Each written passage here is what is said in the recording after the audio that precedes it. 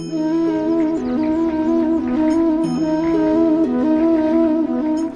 मटकी देख रहे हैं आप?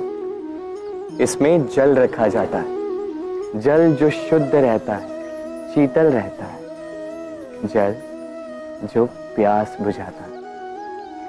पर सोचिए, यदि इस मटकी की माटी ठीक ना हो, यदि इसे भली प्रकार रौंदा ना गया आकार देकर इसे अग्नि पर ठीक से पकाया ना गया हो तो क्या होगा?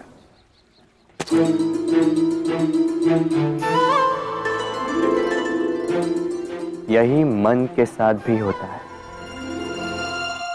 क्योंकि यदि प्रेम ये जल है तो इसकी मटकी है मन। मन रूपी पात्र में यदि विश्वास की माती ना हो यदि आंसुओं से उसे भिगोया ना गया।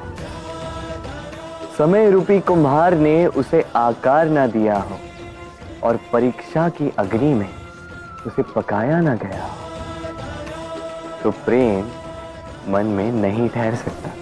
तो यदि प्रेम को पाना है तो हृदय पर काम करना होगा और मन से कहना होगा राधे राधे